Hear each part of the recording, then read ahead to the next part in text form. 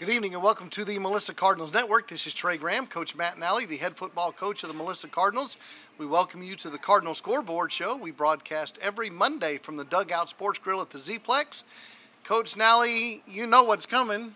Right. How about 10 in a row? Yes, sir. And I'm going to say it again. I hope it's 11. I hope it's 12. I hope it's 13. I hope it's 14. Yep, that's pretty uh, surprising our opening there, isn't it? Yes. 10 game winning streak. Yes. Started 0 Yes, 2. sir. Now 10 in a row, big victory over Ennis. 42 to 38 was the final score. Lots of different stats we can talk about, but let's go with this one first. It was a game of runs. Mm-hmm. It was Ennis 10 0. Right. Then it was Melissa 28 10. Right. Then it was Ennis 38 28. Right. So you had a 28 point run after their 10 point run, and then they turned around and had a 28 point run on you. Right. And then you had a 14 point run on them to finish 42 38. Yes, sir. You know, I mean, it, it goes back to first off, we knew going into the game that they're, you know, because most coaches will script their first 10 or first 15 plays. And we knew, that, I mean, that's a Hall of Fame coach. Um, and he's an offensive guru. So we knew going into the game that his scripted plays were probably going to give us some fits. Um, those first 10 to 12, 15 plays. So that first drive went the way that they hoped it would it went. Um, we hoped we would have a little bit more of a of a pushback, but we had kind of seen what their plan was. Um, so that's the 10 10 0. And then when we got on offense, um, we had to adjust to some of the things that they were doing. You know, it's always a chess game.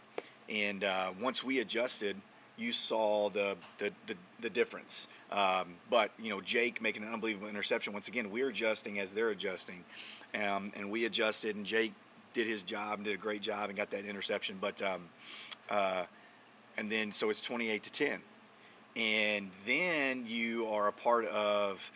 Uh, the worst nightmare of football, you know, if you're a Cardinal fan, um, for that five minute span. Um, and then, I've, and I've never been a part of a, of a game where it's, you know, I mean, it's 38 to, to 28, and, I, I, you know, you're sitting there thinking, oh my goodness gracious, like, you know, uh, maybe just momentum and things are going their, their way, and maybe they're supposed to win the game. But the thing about it, and I've been telling people all weekend, was there was never a doubt in a kid's mind. Every single kid was extremely positive on the sideline. Um, every single kid was just, it was like we were supposed to win. And every kid believed that, hey, it's we're supposed to win the game. So um, when the sideline, the way it was, it, A, it calmed me down. But B, I knew that we were going to win the game based off of, of, of our sideline and where our kids reacted. So um, it was almost like you know it's it's a never um, it's a it's a 12 round boxing match, and yeah, it might be the ninth round, um, and we might have just got knocked down, and we got to the eight count, uh, but we're gonna get back up and keep fighting. So that was awesome. I think we need to quote Nate Hemsley right now. This is why he would say that's why you play four quarters. Correct, correct, exactly right. You know, and then the fourth quarter, you know, we own that fourth quarter. So, um, but yeah, I mean, it's once again, it's kudos to the kids. It's the resiliency of the kids. It's the leadership of the kids um, and the assistant coaches and what they did. And um, yeah, it was a great game to be a part of. A lot of fun. Cardinals had a big first round playoff victory over Hallsville. This was the second round playoff victory over Ennis. That moves them on to the third round called the regional semifinals. We'll talk about that in a couple minutes. We said that the Cardinals are on a 10 game winning streak. We're going to talk about your opponent. They've got a winning streak going on as well. Our offensive player of the game that the fans will meet in just a few moments, Nate Atajokin. He hasn't been the offensive player of the game since last game. 29 carries, 134 yards, three touchdowns on the ground, one touchdown Not a bad night. reception. Not a bad night. And another guy who's a regular here, Jacob Fields, our defensive player of the game, that big interception return uh, to, to change the momentum of the game. Talk about, again, because you talk about him a lot, Nate and Jake. You know, and Nate has gotten better as the season progressed. You know, he's really, you know, um, accepted what his role is, and that's that brute, uh, uh, back that we're looking for, you know, um, and it's really cool to see, you know, Jake and Nate in that running back position because Jake is kind of like that thunder, you know, that brute uh, running back, where uh, Jake is more like that lightning guy, you know, the the guy that can uh, change the scoreboard really, really quickly. So it's fun to watch him in that. But Nate has progressively gotten better throughout the year. Um, his vision have gotten better, his feet have gotten better he is just so strong as well. So I mean that obviously helps him out. And then Jake is a kid that every time, I mean, and I know I'm biased, but when teams kick off and he catches it, I say they kicked it to the wrong kid. Um, when he picks a pass off, um, I always say it's a touchdown. Always, you know, um, if he gets past uh, the first level, I say it's a touchdown. If he's playing running back, he's just such an explosive kid.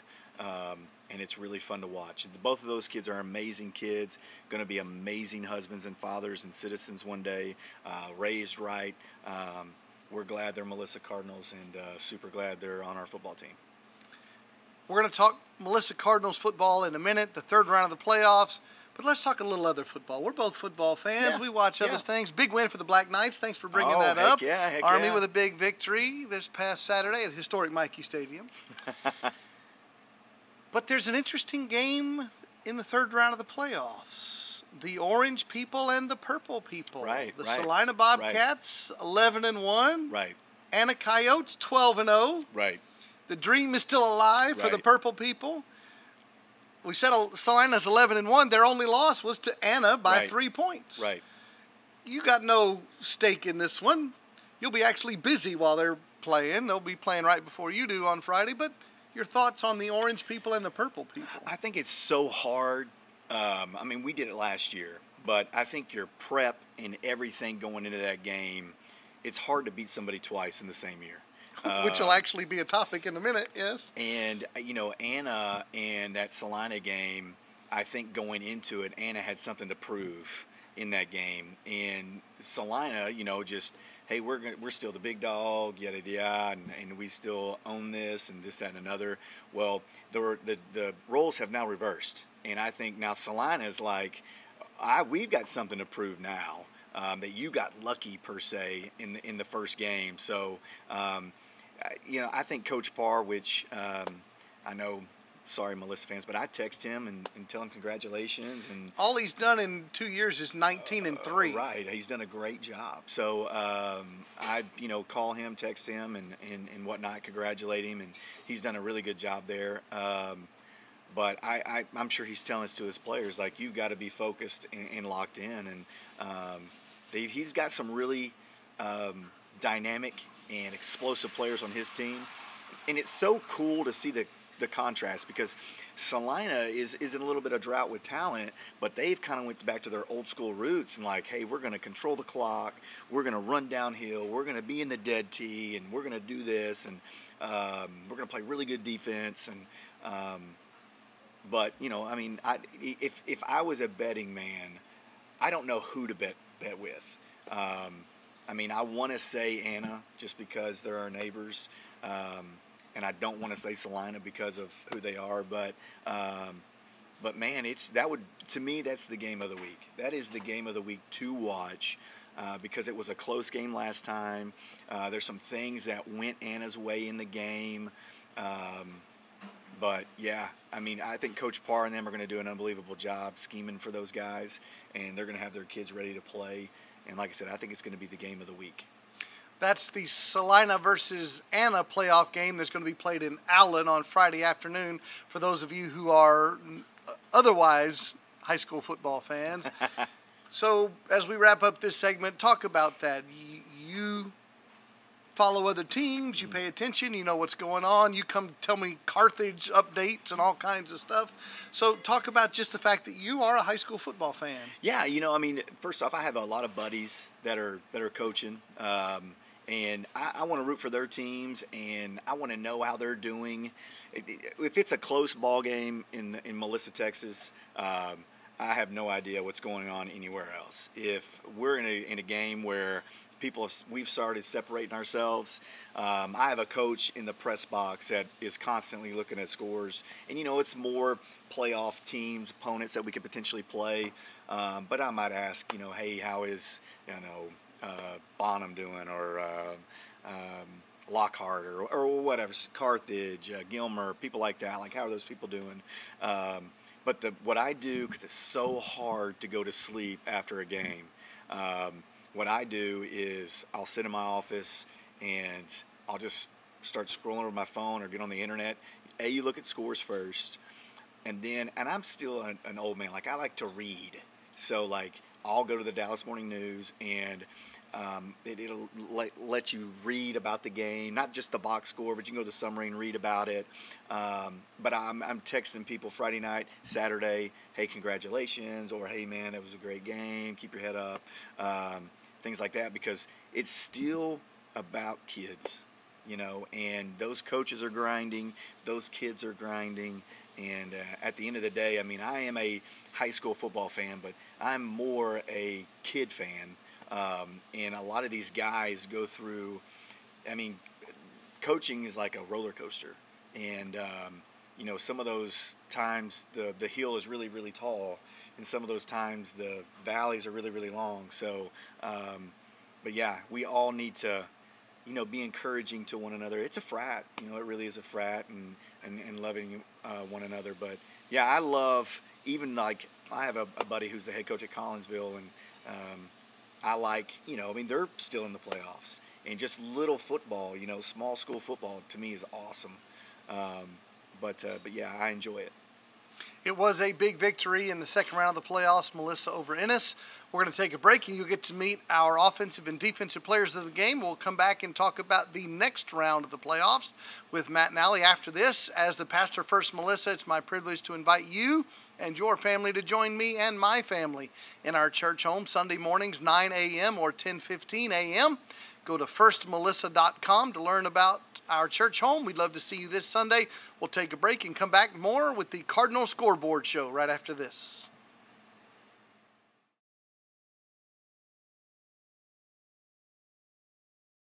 Hello, welcome back to the Cardinal Scoreboard Show. We join you every Monday from the Dugout Sports Grill at the Zplex. This is part of the Melissa Cardinals Network, and you get to meet each week our offensive and defensive players of the game.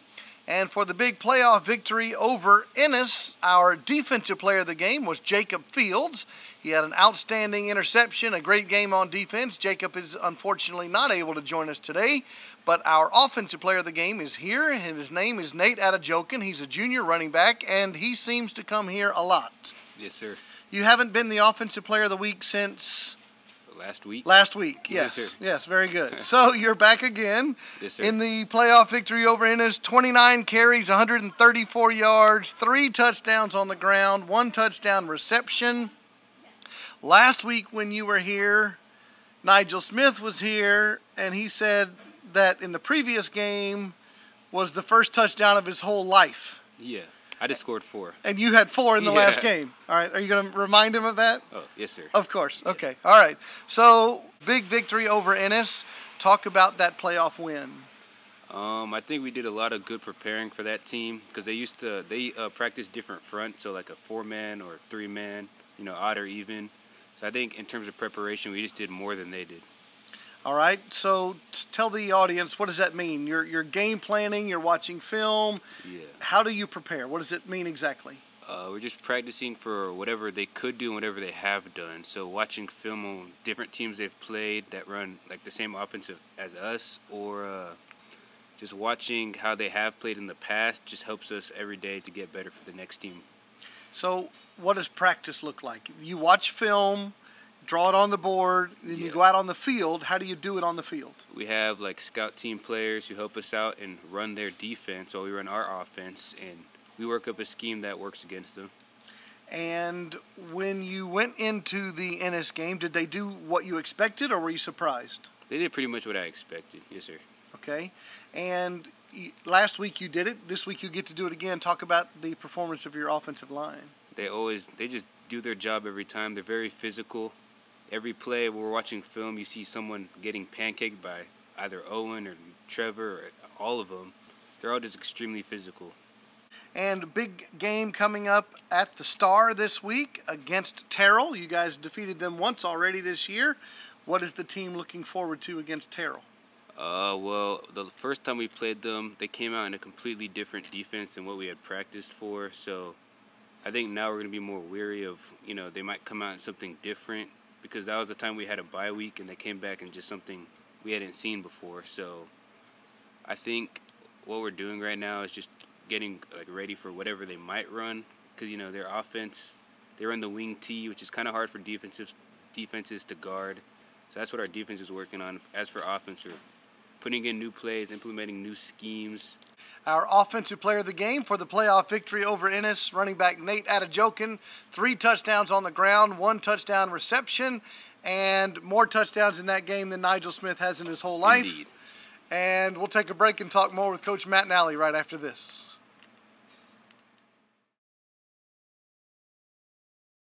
Welcome back to the dugout. This is Trey Graham and Coach Matt Nally. This week's edition of the Cardinal Scoreboard Show, you got to meet our offensive player of the game for the victory over Ennis, Nate Atajokin. Unfortunately, you could not meet this week's defensive player of the game, Jacob Fields, but you've met him before on a number of occasions. So now it's time to turn our attention to the next round of the playoffs. But before we do that, I don't think a lot of Cardinal fans know about Mrs. Coach Nally. Mrs. Coach Nally happens to be a Melissa Cardinal as well. Yes. So tell everybody what she does. Um, and she is the principal at MREC. Um, and, you know, I, I had this conversation with somebody last week. If you are um, in the daycare, if you're doing, if you're a teacher of pre-K, if you're a teacher of kindergartners through elementary school, you are a special person. Like God blessed you um, in a different way than He blessed me. Um, I taught elementary PE uh, for a few years, and those people are just great people. Those people need to make more money than anybody else. Those people are so uh, just special people and need to be celebrated so much uh, for what they do. Um, but yes, she is. Um, she's the principal at MREC and um, really enjoys it.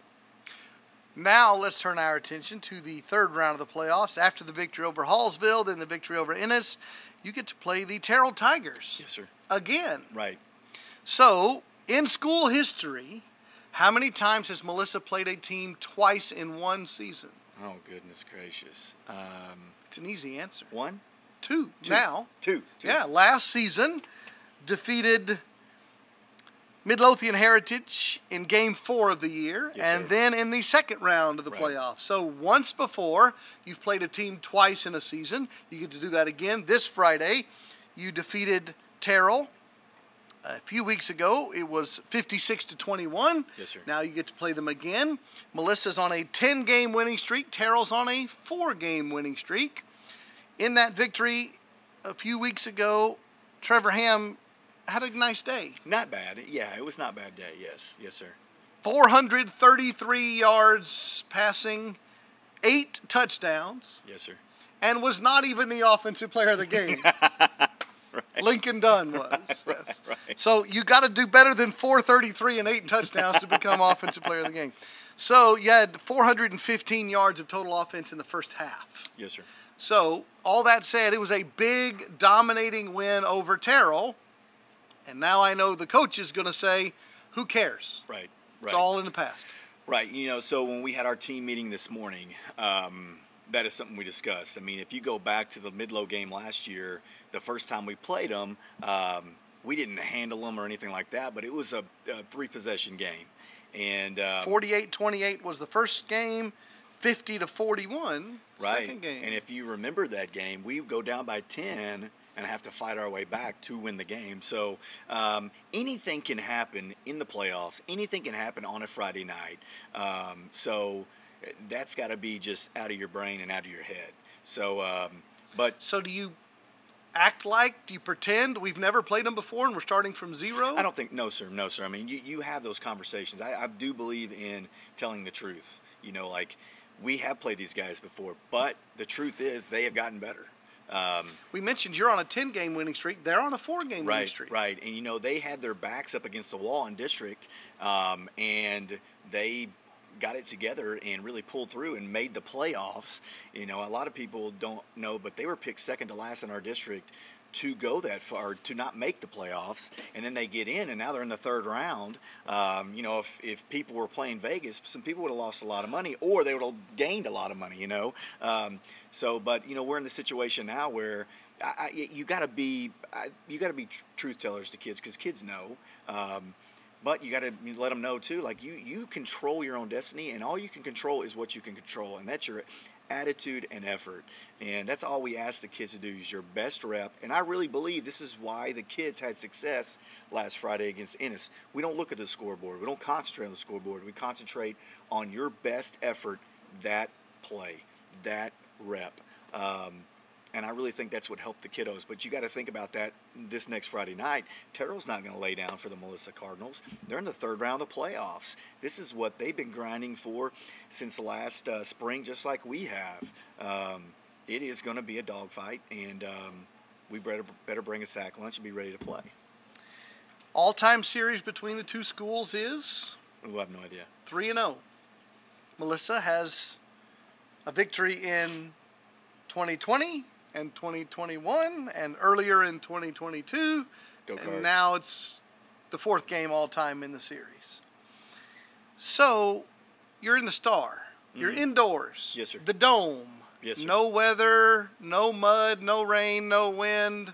Does it matter? Does it change your game plan? Uh, no, sir. I mean, we we had opportunities last year to play in the Star, um, and I just think it's an awesome opportunity for a kid to have that opportunity to go and play in the stars. So when we we were started trying to do this last week, we had to get a four-team agreement with the, the us, Terrell, Everman, and Ennis, and um, us and Terrell. Um, I won't name the school, but there was one school that did not want to do it, but us and Terrell wanted to do it, and um, we were just so fortunate enough to get that um, after the game. And Coach Phelps did an amazing job of scheduling that for us and helping us out with that. But uh, I just think it's a cool opportunity for the kids. You know, I mean, you don't get a lot of people don't get to say I play where the Dallas Cowboys get to practice or whatever the case may be. So I just think it's a really cool thing for the kiddos to be a part of.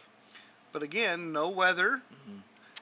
different sight lines, different lighting. Indoors, different. Right, right. Um, you know, it's it's weird that you say that because about the lighting and things like that is we're trying to figure out our color coordination for the game uh, just because of that. Um, uh, it, it won't change the game plan and what we're trying to accomplish. Um, I, I doubt it changes their game plan either. You know, obviously, if we were playing outdoors and it was there was weather issues or whatever the case may be, it, would go into Terrell's hands a little bit more. They might have the advantage. Um, but since you're inside and whatnot, it's almost like you know you're practicing on a Tuesday afternoon. Um, so I don't think both squads have. That's not going to be a, be an issue. Um, I really firmly believe that it's going to help out both teams just because of you're not dealing with the cold. Um, obviously, there's no weather, there's no wind, there's nothing like that. So quarterback should be sharper. Um, there shouldn't be any issues with the mesh and things like that from the quarterback running backs exchange and you know when it comes to snapping and things like that it shouldn't be an issue either so uh, I don't think it changes anything I think it you know once again I think it's more of an experience than anything else I've been telling Coach Steele on the broadcast for years that when you are having football practice on Thanksgiving Day, right that means you've had a good year. right right But it's a weird week. right So talk about that.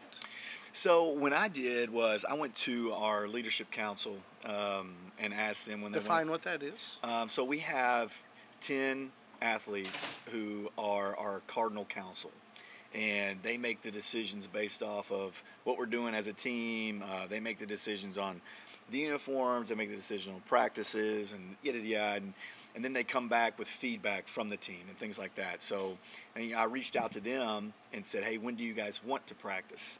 And I thought they did an amazing job of picking because normally we practice at 6:30 in the morning, and they still wanted that AM practice. Um, but they, they gave themselves a little bit because now we're practicing from eight um, to ten, and they gave themselves a little bit more sleeping time, which I totally get. But um, it, it you could say it messes with uh, the schedule a, a tad, um, but practice structure wise and the way we're practicing, it, it looks like any other week.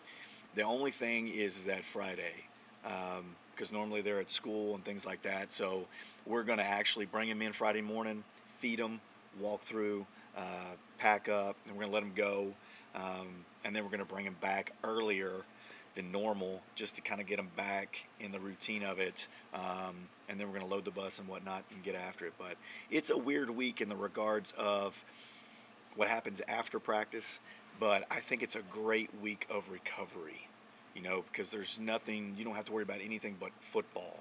And, um, you know, I mean, it, it's also a time to get excited about, you know, seeing people you haven't seen in a while. And, um, you know, I, I talked to the kids today about being thankful.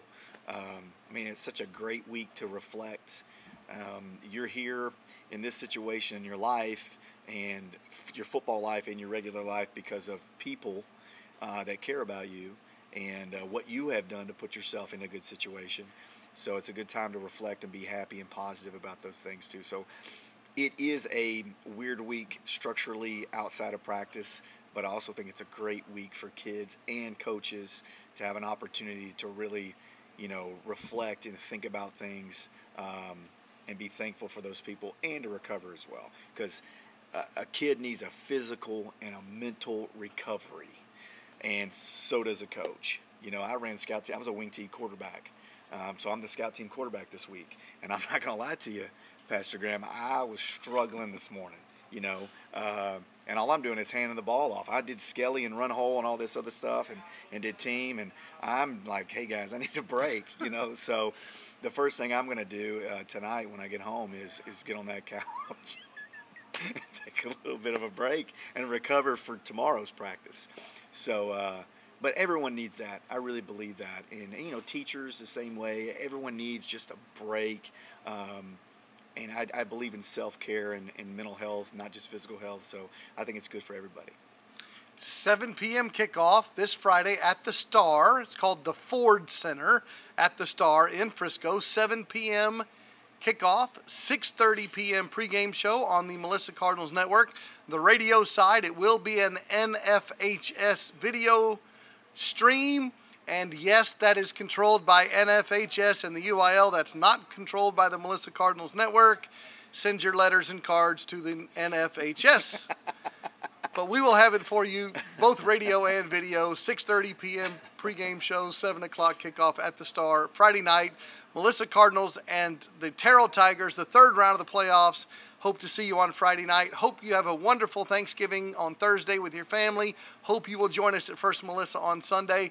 For Coach Matt Nally, this is Trey Graham saying good evening from the dugout.